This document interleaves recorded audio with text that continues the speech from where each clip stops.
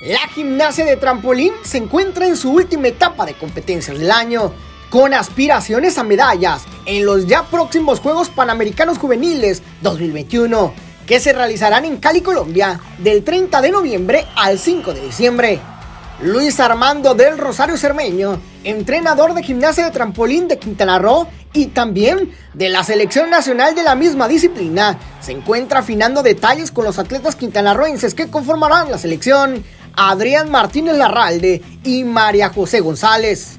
Eh, constantemente nos estamos preparando para llegar lo más, lo más perfecto que se pueda, con aspiraciones de, primero, eh, medalla en sincronizado. Tenemos que irnos a prepararnos en un lugar donde eh, existan las condiciones. Este, nos vamos a ir una semana a Veracruz, posteriormente cinco días al CENAR en el Centro de Alto Rendimiento Deportivo en la Ciudad de México. Entonces, este, una de las aspiraciones es la medalla en sincronizado, tanto varonil como femenil, así como eh, también la medalla en individual.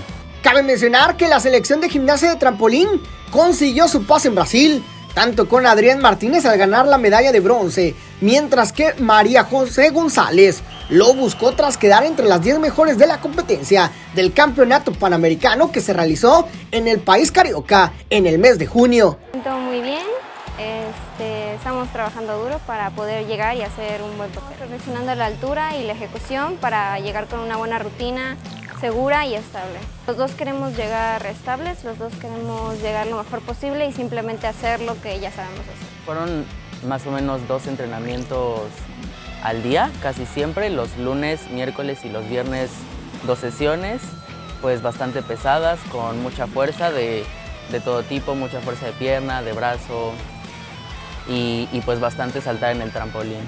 Cabe mencionar que por parte de la selección nacional irán cuatro atletas, dos de Veracruz y dos de Quintana Roo, además de Aldo Bargorini, entrenador nacional originario de Veracruz. Para tu DN, Adrián Cisneros. Es pura pasión.